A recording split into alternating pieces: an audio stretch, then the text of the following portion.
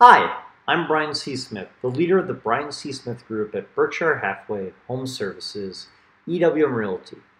Last week, Two Roads Development announced plans for Edition residences in the Edgewater neighborhood of Miami.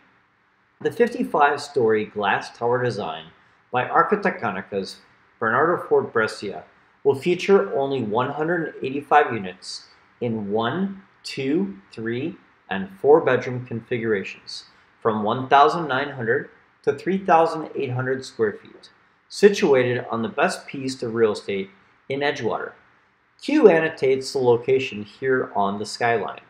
If you are considering purchasing a new construction condo in Miami, let's talk now while prime units and the best pricing is still available.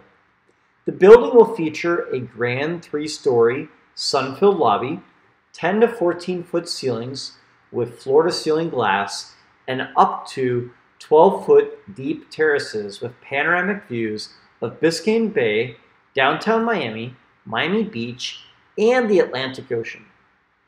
Residents will enjoy 45,000 square feet of indoor and outdoor amenities, including a library, spa, secret garden, bayfront pool, and rooftop pool.